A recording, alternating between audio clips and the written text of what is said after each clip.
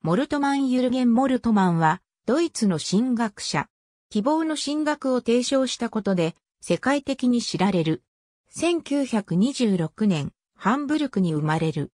ナチスドイツの軍隊に従軍して、第二次世界大戦中に捕虜になり、初めて神学に触れ、そこで十字架の苦難と復活の希望を心に焼き付けられ、それが希望の進学のきっかけになった。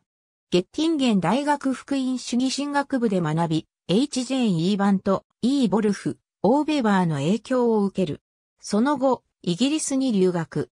帰国後、1953年から1958年まで、ブレーメンのバッサーホルスト教会で牧師となる。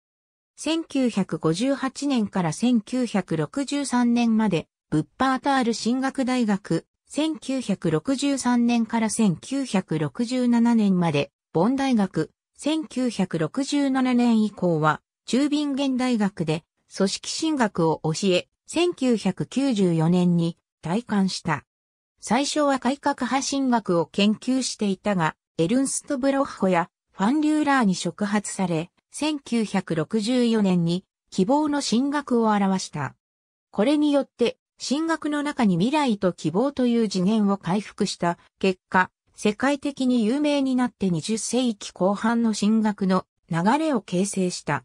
妻はフェミニスト進学研究で知られるイーモルトマン、ベンデル。夫婦の共著も多い。ありがとうございます。